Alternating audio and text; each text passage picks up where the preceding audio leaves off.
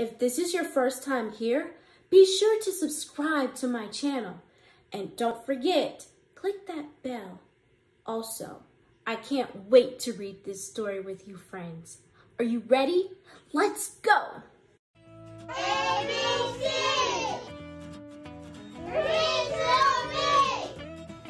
Hello friends, let's go! Big Bad Bubble. Words by Adam Rubin. Pictures by Daniel Salmieri. You may not know this, but when a bubble pops, it doesn't just disappear. It reappears in La La Land, where the monsters live. For some reason, all the big, scary monsters are terrified of bubbles. Froofle, why are you running away? Yerbert, what's the matter? Wumpus, stop crying.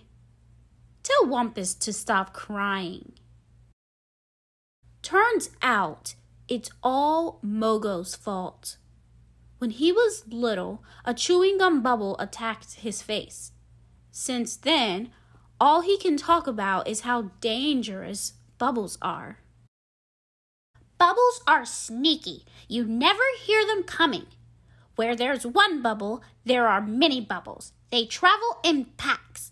Summer is the worst time for bubbles. That's when they go into a feeding frenzy.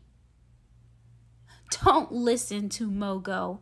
He has no idea what he's talking about.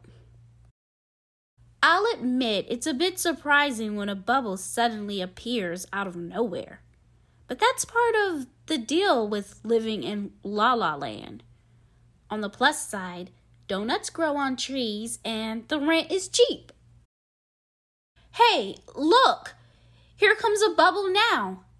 Yerbert, stop running around in circles. You have giant fangs. Froofle, climb down from the tree. Look at your claws. You have pointy claws. Wumpus, Get out from under those covers. You're much too big for that bed, anyhow. Bubbles kill thousands of monsters every year. No, they don't. Oh, yeah? Prove it. Look, here's a bubble. It's just a thin layer of soap and water wrapped around a ball of air. It's soft and delicate. It couldn't hurt a fly. You could pop it with a little finger. See? Yerbert, use your fangs. Froofle, use your claws. Wumpus, don't be scared. It's just a teeny tiny. Oh, wait, that's kind of a big one. He's a goner. Quiet, Mogo. Go on, Wumpus. You can do it. Tell Wumpus he can do it. Kaboom! See? Mogo doesn't know what he's talking about. There's no reason to be afraid. Enjoy your bubble gum, Yerbert. Fun popping your bubble wrap, Froofle. Oh boy, that is a big bath full of bubbles, Wumpus. Tell Wumpus to save some water for the fish. Splash! Fine.